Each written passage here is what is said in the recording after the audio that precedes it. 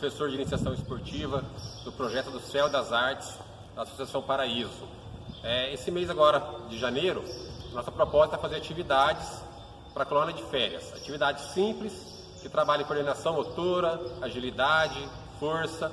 E hoje vai ser um exercício bem tranquilo de força, agilidade e lateralidade, tá bom?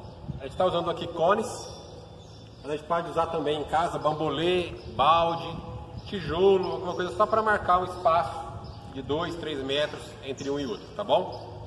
Eu peço a todos que marquem no cronômetro o tempo que vocês vão fazer esse circuito, é uma atividade de circuito, e mande para a gente, para que a gente possa cronometrar e ver quem vai fazer melhor tempo. Quem fizer em menor tempo vai ganhar um prêmio simbólico do projeto, tá bom?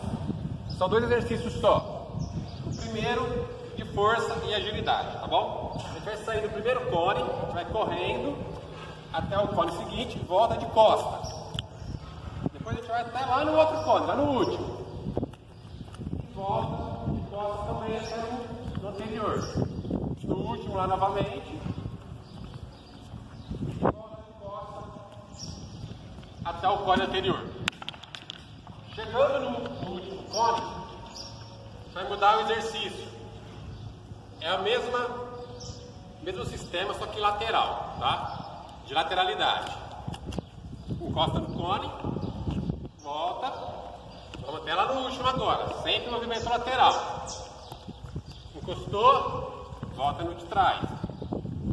E encerrando a última atividade, cone, encostou e encerra. Tá bom? Marca no cronômetro, pede para o papai, para a mãe, o irmão cronometrar em quanto tempo foi feito e mande o vídeo para gente. Um abraço